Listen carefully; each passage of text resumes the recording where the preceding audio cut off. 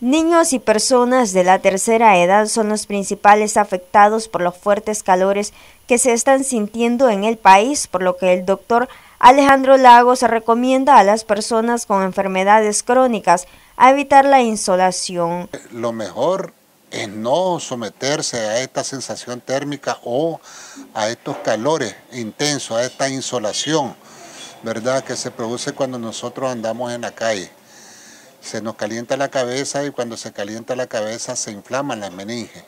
Y esta es la cefalea que comienza a producir eh, la exposición a la, radiación solar.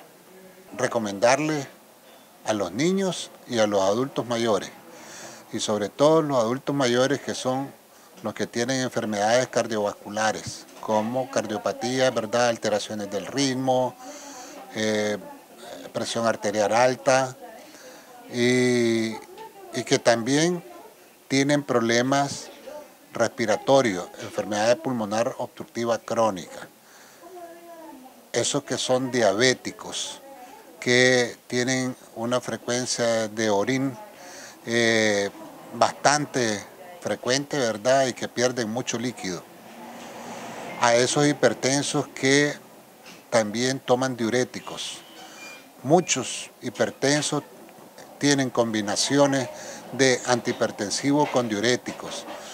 No beneficia en nada, ¿verdad?, a estas personas que se expongan al sol porque sudan demasiado, ¿verdad? Y esa sensación térmica pues, les puede alterar más la presión arterial. Lagos dio a conocer algunas sintomatologías de alerta que se debe prestar atención. Es precisamente aquello cuando se comienzan a poner ruborizados, la piel se pone muy caliente, comienzan a tener cefalea, es decir, dolor de cabeza, hay un estado estuporoso de confusión y en algún momento pueden perder el conocimiento y convulsionar.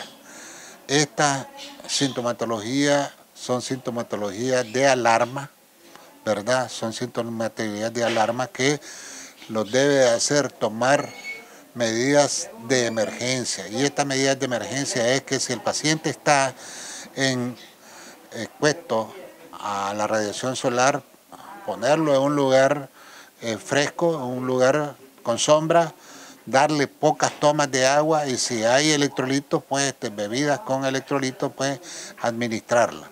Noticias 12, Darlene Telles.